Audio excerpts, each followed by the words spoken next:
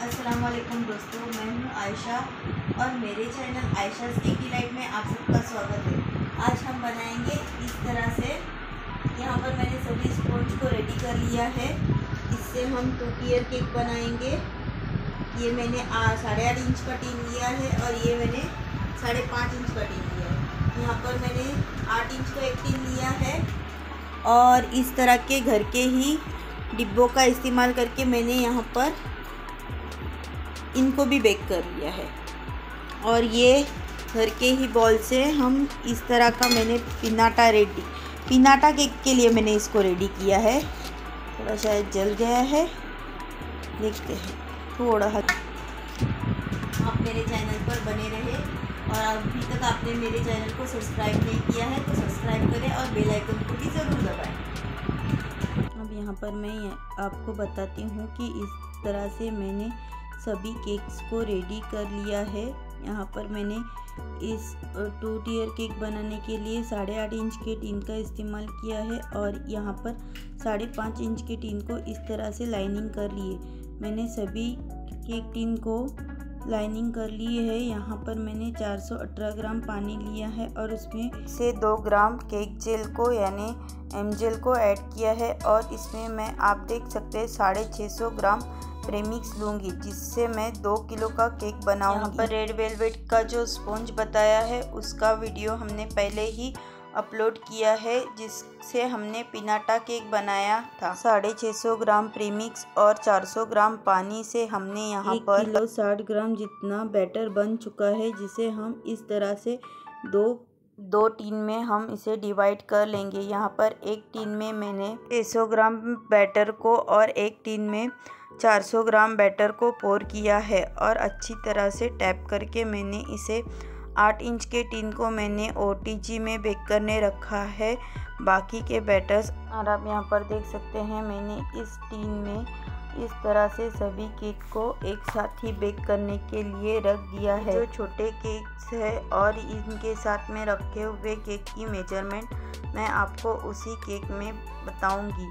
यहाँ पर ये वेनिला फ्लेवर का केक है और ये सभी केक तीन के जी के हैं, इसलिए मैंने इस तरह से यहाँ पर वाइट गनाश को रेडी कर लिया है। आप यहाँ पर देख सकते हैं, सौ ग्राम क्रीम को लिया है और 80 ग्राम मैंने यहाँ पर वाइट चॉकलेट को मेल्ट कर लिया है। यहाँ पर हमें केक के अंदर की फिलिंग इस गनाश को ऐड करना है तो हमें यहाँ पर इसे छान कर लेने की भी ज़रूरत नहीं है। आप यहाँ पर देख सकते हैं, साढ़े आठ इंच के टीन को मैंने इस तरह से बनाने के लिए 12 बाय 12 का बोर्ड लिया है। इसी पर मैंने इस तरह से इसको कट करके अरेंज किया है। अब हमारा गनाश भी यहाँ पर ठंडा हो रहा है, इसलिए यहाँ पर ये केक जला नहीं है, थोड़ा एक्स्ट्रा बेक हो गया है। अगर थोड़ा एक्स्ट्रा बेक होता है तो हमें थोड़ी ज़्यादा सोकिंग करनी पड़ती है। और ये हमेशा नहीं होता कभी कभार ही हो जाता है। यहाँ पर ज़्यादा केक बेक करने के लिए रखा हुआ था और एक साथ ने आपको बताया कि मैंने एक साथ ही सभी स्पॉन्ज को बनाने के लिए रख दिया था।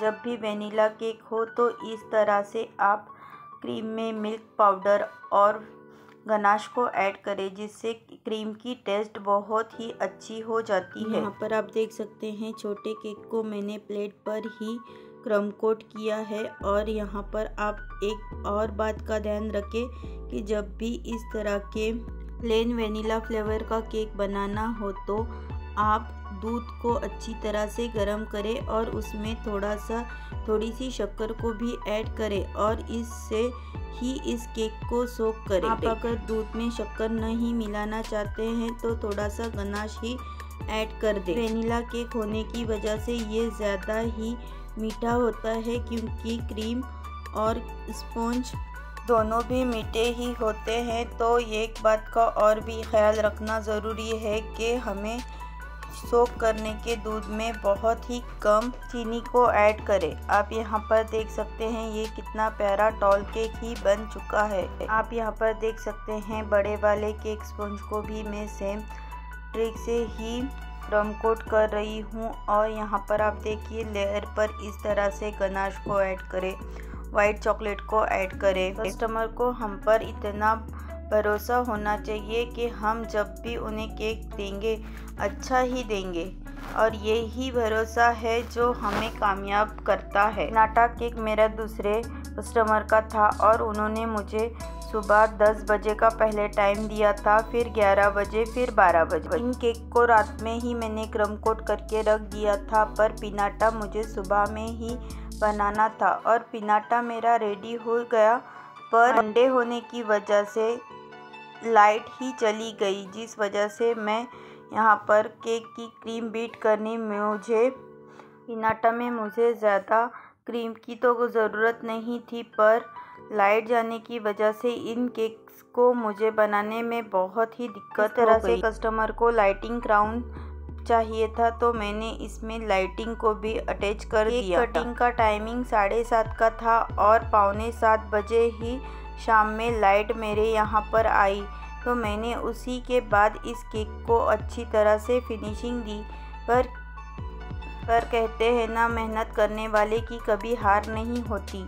तो यहाँ पर मेरे साथ भी ये अच्छा ही इंसिडेंस हो गया। एक केक मुझे कहीं दूर नहीं देना था, मेरे ही फ्लोर पे देना था तो मुझे ज़्यादा कुछ टेंशन भी नहीं थी।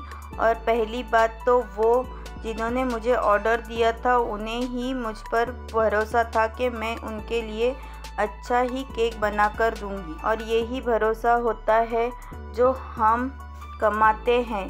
कस्टमर, इसके साथ ही मैंने इस तरह से फटाफट से क्रीम बीट करके यहाँ पर अच्छी तरह से आइसिंग कर ली है और हल्की क्रीम में। आप देख सकते हैं, मैंने सिर्फ़ वाइट क्रीम से ही केक को कवर किया है और पैलेट नाइफ पे हल्की सी क्रीम को लेकर थोड़े से डॉट डॉट देकर ही मैंने केक को पिंक कलर का शेड दिया है। इस तरह के केक रेडी करते हैं तब हमारी क्रीम बहुत ही सॉफ्ट होती है पर अल्हम्दुलिल्लाह ऐसा हुआ वो क्रीम भी अच्छी तरह स्टीफ हो गई जब तक कि मैंने दूसरा केक बनाया। आप यहाँ पर देख सकते हैं इस तरह से मैंने इस पर इस क्राउन को अरेंज किया है और इस लाइट को इस तरह से केक के पीछे की तरफ़ सेट भी कर लिया है। यहाँ पर मैंने बर्थडे गर्ल का नाम लगाया है और इस पर कुछ पर्ल कलर के बॉल्स को भी मैं स्प्रिंकल कर रही हूँ। बेबी शावर की लाइटिंग स्पेसर की वीडियो अपने चैनल पर अपलोड की हुई है उसमें मैंने स्पेसर में किस तरह से फ़ोटो को स्टिक करे ये बताया है। पर जब मैंने इस तरह से लाइटिंग स्पेसर रखा था तो नीचे का बेस मेरा दिख रहा था इसलिए मैंने इस बार बेस को कट करके उसे पेपर से कवर करके इस पर रखा है। आप यहाँ पर देख सकते हैं rotating table lighting spacer lighting crown और बर्थडे कल का कस्टमाइज नाम।